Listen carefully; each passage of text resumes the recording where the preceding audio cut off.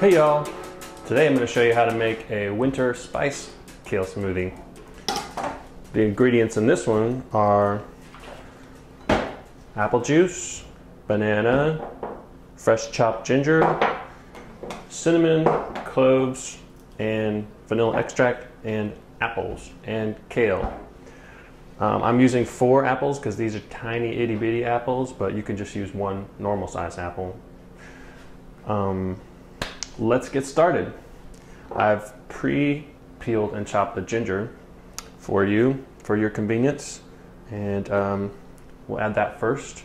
Then I'm going to add some fresh banana.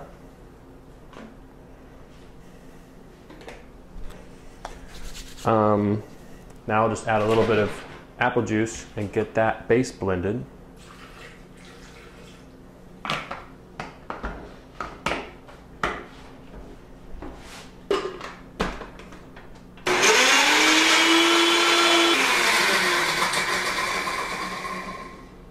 Okay, now I'm just going to add a um, couple shakes of each of these. Cinnamon. A couple shakes amounts to about an eighth of a teaspoon, maybe even less. You don't want to go heavy on these spices, they're very strong. A couple shakes of cloves. Just a couple drops of vanilla extract goes a long way. So I'm to pour it into the cap here. If you have one of those dropper things, that's even better. Okay.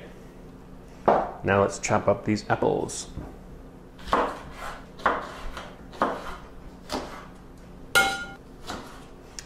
You want to leave the skins on these apples because nutrients. Because nutrients.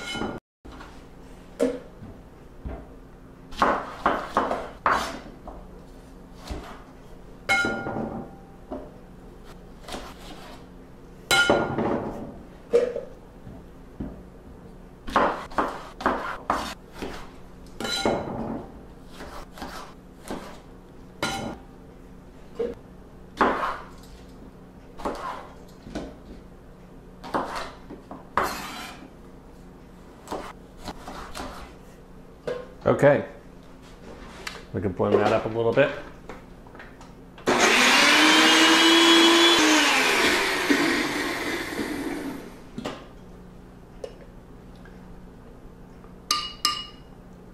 Mm-mm. Mmm. Delicious! All right, I'm gonna put the kale in. One big leafy leaf of kale. That's all you need. And add just a little more apple juice.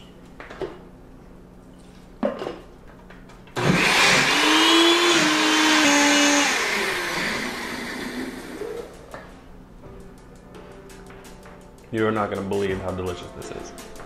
Simple as that. Just pour it in a glass and drink it. Look at that. Beautiful. All right winter spice kale smoothie. Enjoy!